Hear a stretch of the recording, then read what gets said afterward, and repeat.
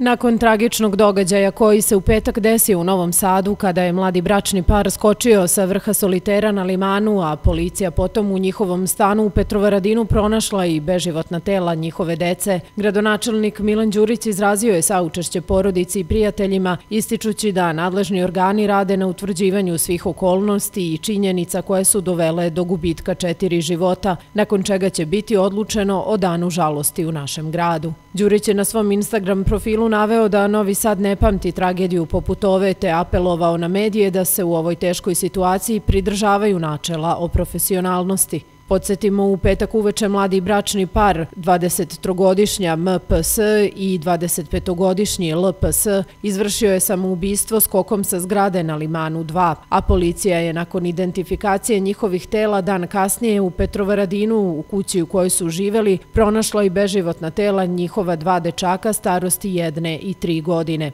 Kako se sumnja, bračni par je pre skoka sa solitera usmrtio svoju decu, a detalje ove tragedije pokazat će istraga koja je u toku.